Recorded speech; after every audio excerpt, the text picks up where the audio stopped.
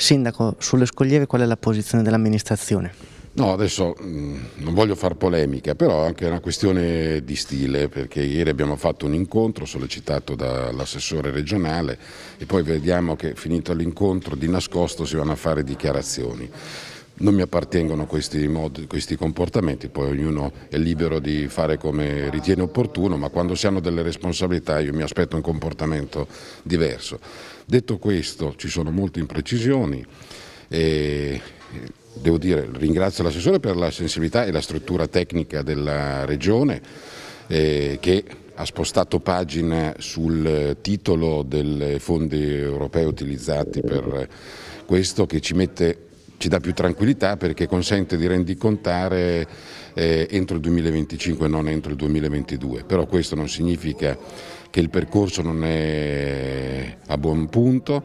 siamo ormai giunti all'approvazione esecutiva e alla gara d'appalto con un cronoprogramma che vede l'ultimazione dei lavori marzo 2022, quindi in pieno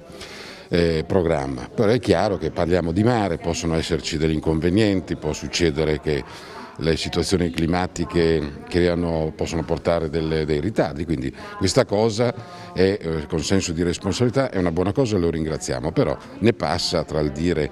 che la situazione era tragica, anche perché mi sembra che in questi anni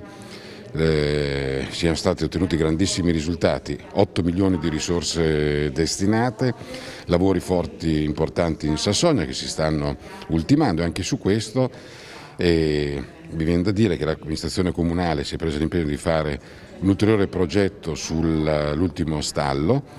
tenuto conto che abbiamo già fatto quasi tutti i lavori che eh, termineranno in questo momento e nel progetto iniziale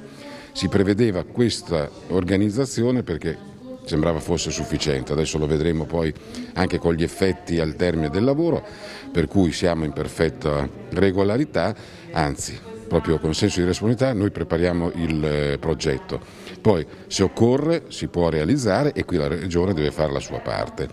e quindi al di là delle chiacchiere il vero ruolo della Regione è quello di trovare ulteriori finanziamenti. Io spero, e a questo punto direi bravo all'assessore regionale, se riesce per il 2023 a mettere risorse per il secondo stralcio delle scogliere di Metauriglia